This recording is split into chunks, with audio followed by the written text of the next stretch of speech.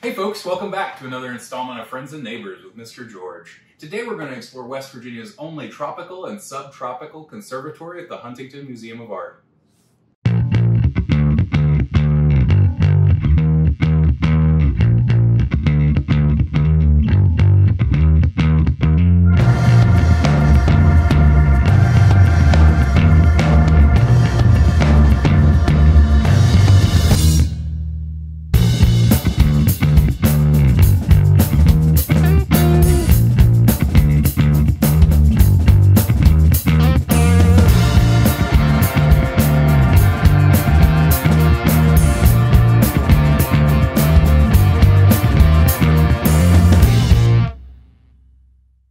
We're here at the C. Fred Edwards Conservatory at the Huntington Museum of Art under the stewardship of Dr. Mike Beck.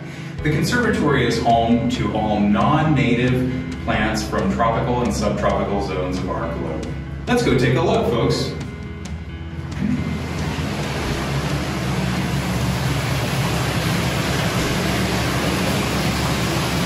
The plant collection here at the Huntington Museum of Art falls into four general categories. Orchids, like this one that's currently in bloom, the agriculturally important, like the pineapple, the unusual, like the ant plant, and even the fragrant. The tropical and subtropical zones are based on temperature. For this reason, we keep the temperature in the conservatory at or above 68 degrees at all times. The position of the sun in the sky changes little in the tropics. As a result, daylight and light intensity stay about the same year round. Because of this, the growing season tends to be determined on the amount of rainfall, not the length of the day like in West Virginia.